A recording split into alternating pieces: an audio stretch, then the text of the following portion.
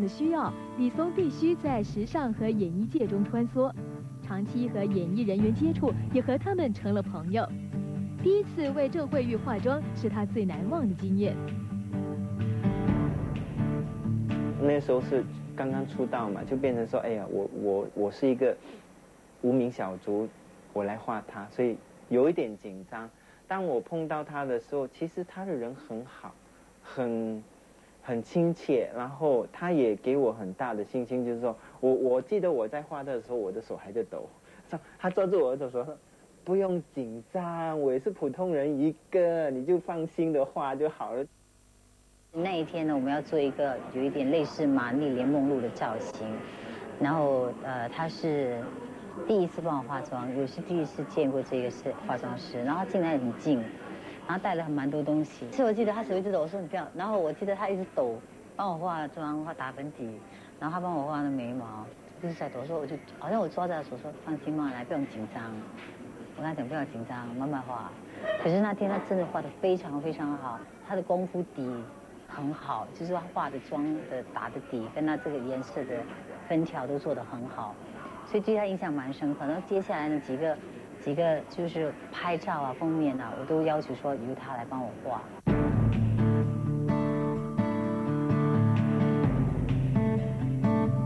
李松的化妆技术在本地享有极高的口碑。他认为经验的累积让他更清楚地了解到自己在这个领域里所寻找的方向。他很享受化妆的创意过程，喜欢那种把一张脸的神韵和气质凸显出来的感觉。得与失，其实在于我已经不算是很重要，因为我得过，我也失过。其实我觉得重要的一点就是我学到很多经验，我得到很多经验，嗯，认识很多人，也结交了很多朋友。也跟很多朋友绝交过，很重要的一点，在那个过程当中，你享受那个过程，你全力以赴的去做好每一件事情，那个是最重要的一点。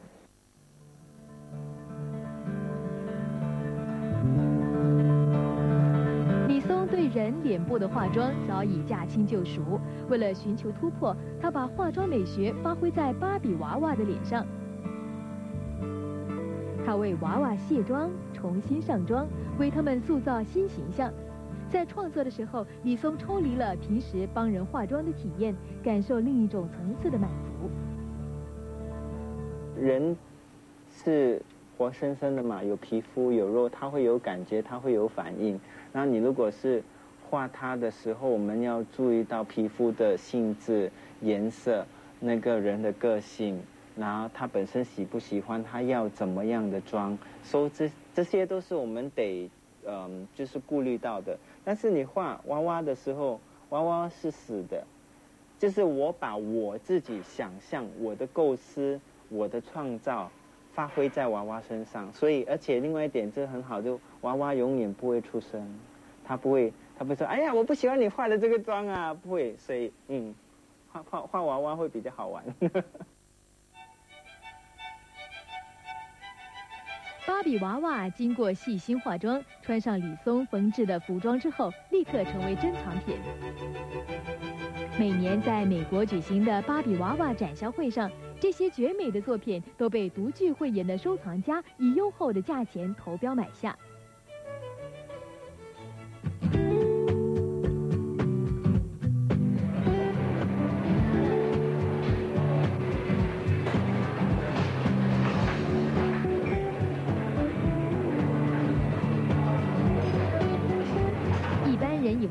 化妆师天天为明星、名模、太太、小姐们扮得美美的，生活圈子一定光鲜亮丽。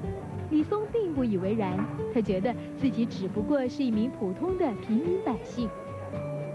李松一有空就会到家人开设的咖啡店帮忙，无论在厨房或是店面，在跟家人和客人接触的那一刻，他找到了一层浓妆彩粉之后生活里最真实的一面。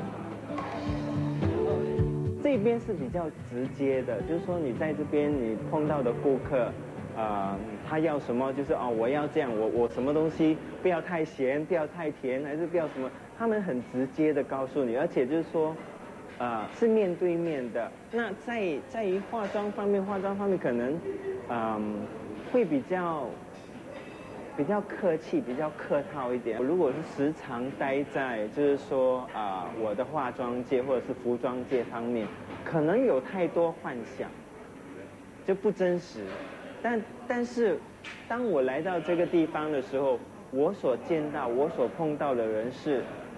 真正的就是真的一面，你会看到，哎，有些啊，有些非常漂亮，有些非常难看，也有不同不同的人。但是，就是你能够真正了解到，哎，普通的人是怎么样的生活。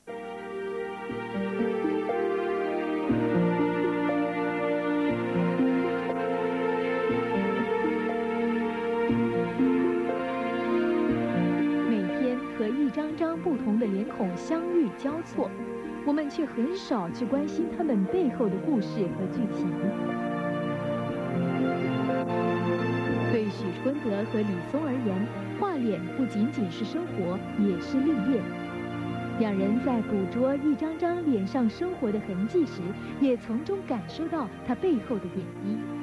无论是精彩也好，平凡也罢。这些脸的故事都一一丰富了他们的修养和内涵。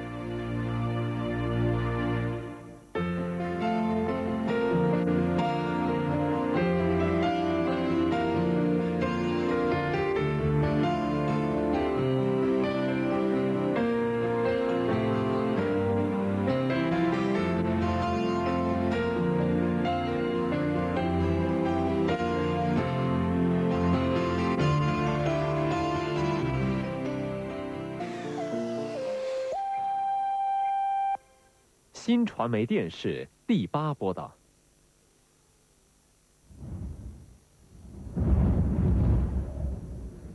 新传媒奥运会全方位报道。特写脸的故事是由 SK Two 主要赞助，以及 Expressions International 带给您。星光魅影背后，慧芳和谢敏如何演活了一张张的脸？特写脸的故事，星期天晚上十一点第八播道。特写脸的故事是由 SK Two 主要赞助，以及 Expressions International 带给您。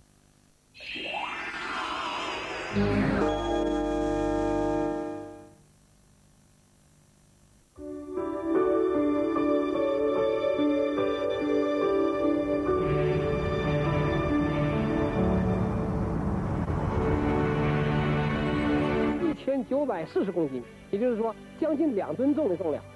那么呢，我们现在看到这个战士腿，一会儿呢，我们的小肖将给我们做拉车表演。我们看他用什么东西来把。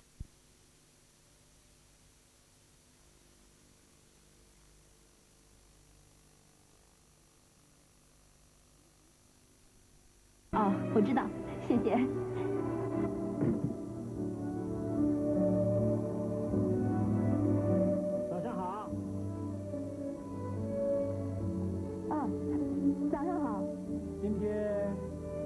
天气好吗？天气走哪里？走哪里？嗯，这个走吧，别愣在那儿。走啊！啊，走吧。啊，呃，希望你们玩的尽兴点儿。你这样子可以应付吗？下星期就要去汉城了。没问题，没问题，你别担心。到时候你就得全靠自己了，知道吗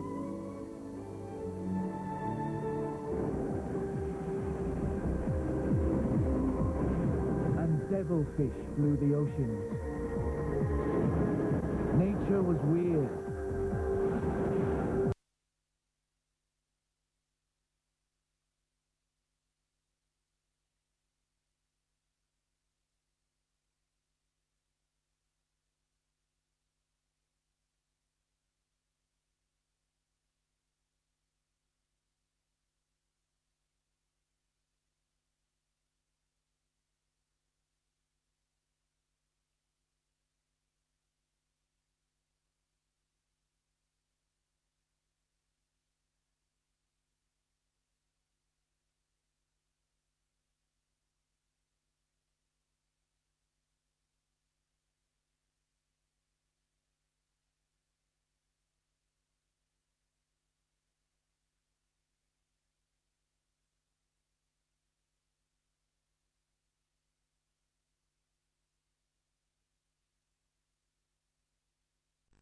The truth behind these imaginary creatures.